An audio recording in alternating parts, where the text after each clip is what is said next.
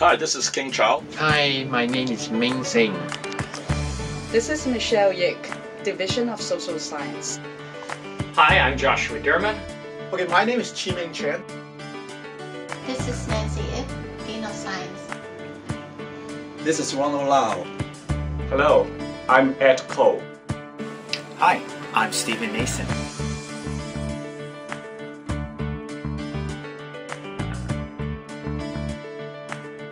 April 25th. April 25th? Between 6.30 and 8.30. Between 6.30 and 8.30 p.m. On April 25th from 6.30 to 8.30 p.m. at LTA. LTA. LTA. LTA. HKUST, Great Minds 2012, April 25th, 6.30 to 8.30 p.m., Lecture Theater A. I'm going to talk about life starts with a can of worms. The topic I'm going to share with you uh, will be uh, uh, the, China, the chief executive election uh, implications on Hong Kong, especially on our one country, two systems. I'm going to talk about living out your dreams with passion. And I'm looking forward to talking with you about why history matters today.